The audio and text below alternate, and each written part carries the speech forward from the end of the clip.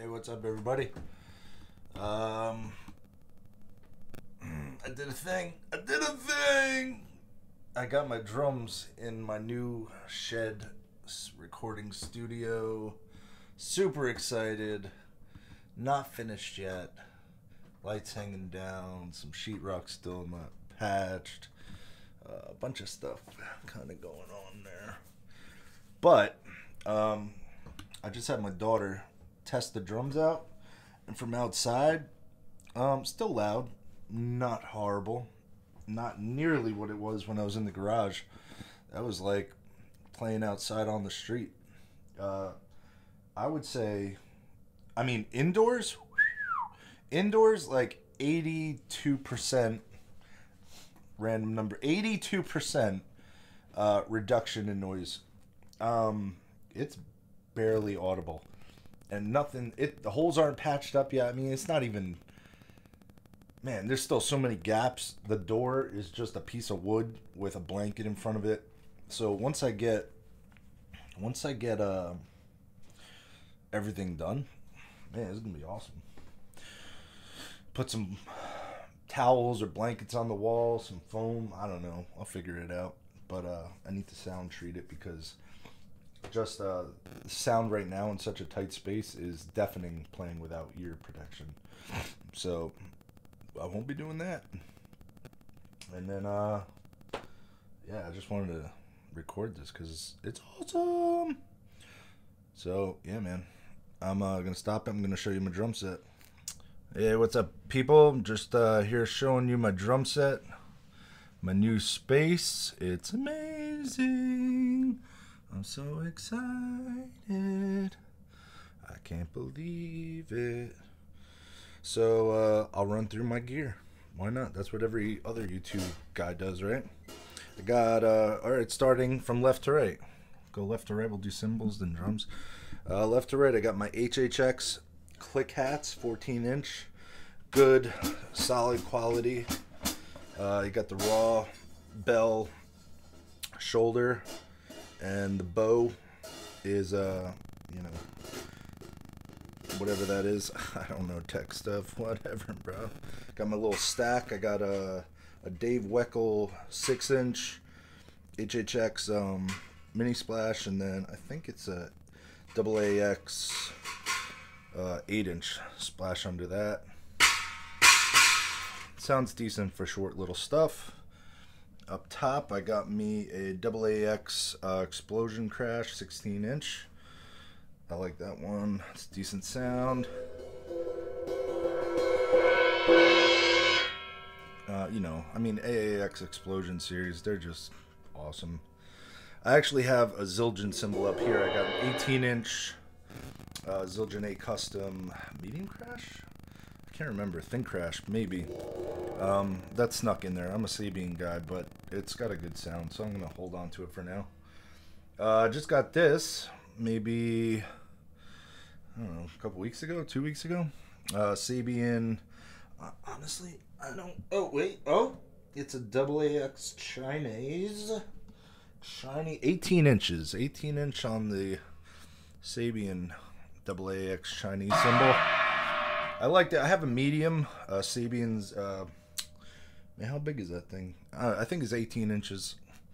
Um, it's got. I mean, that one. The one that I have in my bag is a medium. This is. Uh, uh, I'm gonna say the weight on this is way. I mean, it's pliable, so the weight is much less.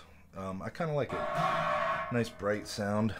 Um, this thing cost me an arm and a leg.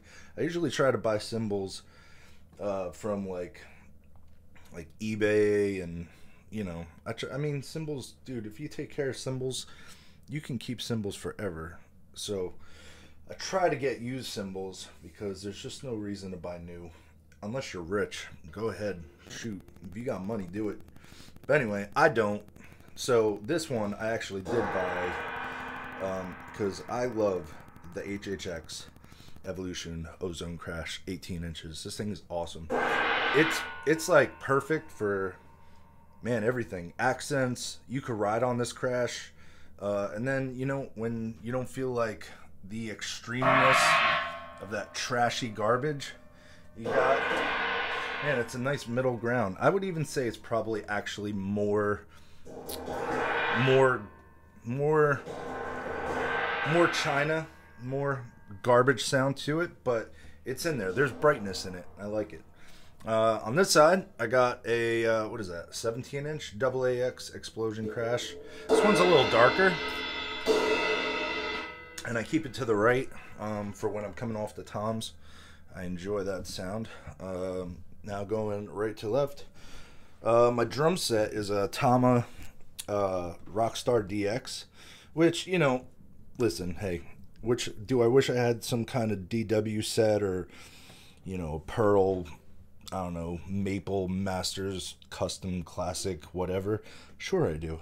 But I will say this the Tama Rockstar DX is a Japanese made kit. It was made in the Japanese factories from, I want to say, from my research, between 80s and early 90s. And dude, these kits are awesome. If you get the right heads on them, which I'm going to be honest, I have Remo heads on them right now, I don't like them. I'm gonna go back to Evans. I thought I'd like the Remo stuff, and uh, I don't know, maybe just because I don't know, right? Remo, Aquarian, maybe not even Aquarian. I think Aquarian's even more of a user specific kind of head, but I mean Remo and Evans, like how can you go wrong? The G2 heads. I'm just going back to those. They sound probably the best. That what I need. If I, you know what, I'll I will say this. I do like Remo's um, coated heads. Their emperors are when I want to play some like more mellow music. Uh, I'll take out two of the toms and I'll play with a four piece and that's the that's the shiznit right there.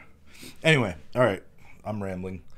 Um, I got an 18 inch floor tom right here. Always wanted an 18 inch floor tom. Now I got one and I love it. Thing booms. It they're not tuned properly. They're it sounds like crap right now. Uh, 16 inch floor tom. I have a 12 inch and a 10 inch uh, rack tom. And actually, what I've been doing, so check this out. Uh, let me bring it around this way. So with the rack toms, I just got this the other day. Um, I actually bought a stand. So for the longest time, I had been putting my toms on the mount in the bass drum, right? So what I've been doing now is actually hooking my cymbals up. I got my my China and uh, Zildjian on that. Just kind of puts it within arm's reach, and I like not having a ton of hardware. Not that I play out or anything. Um, but I used to, but it's more. Um, I don't know what the word is. It's easier, man. I play the way I play double bass is like as if I had a double bass uh, kit, but I don't. I have a double bass pedal, so I actually offset the bass drum a little diagonal to the right with the snare directly in center between my lap. My tom's right above me. Uh, I like the ride there. I know, guys, man, that's another just preference kind of thing. You can put the ride wherever you want. Um, but I like my ride there. And then, uh, you know, Tom's crashes. Everything feels pretty good right now. Everything flows very well, and uh, I'm I'm happy with it, man.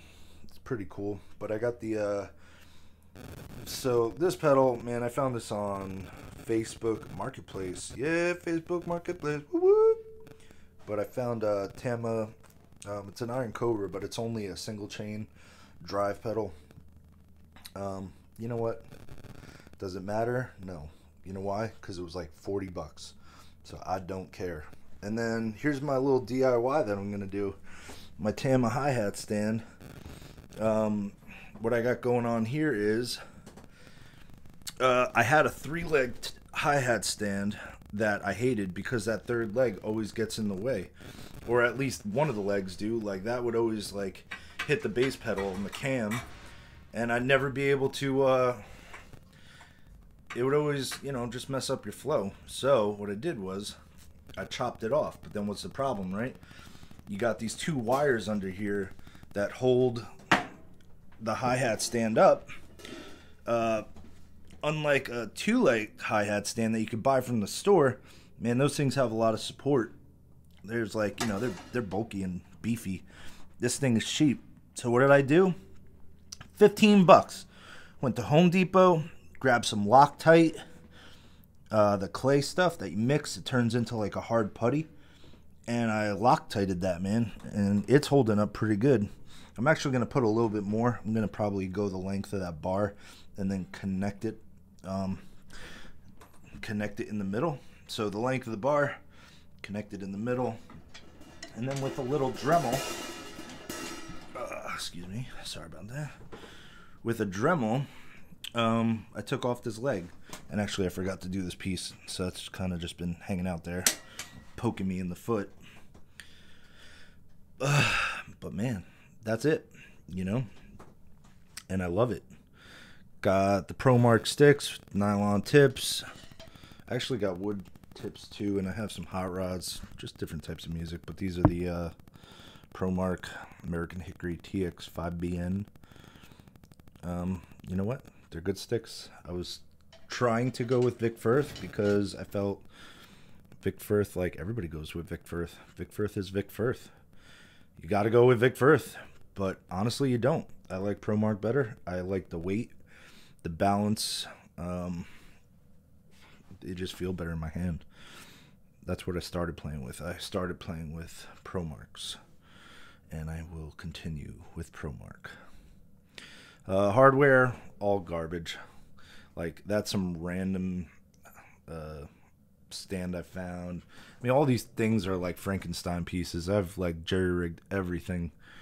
Um, you know, Gibraltar uh, clamps and cymbal clamps and everything. But I, I, you know what? Best little purchase right here. Like I don't know, twenty bucks for like, no, maybe not twenty bucks. I don't know how much they were, but uh, these little Tama quick release things, awesome, super easy, super convenient. And you know what? I'm loving this. I am loving it. Whoop, whoop.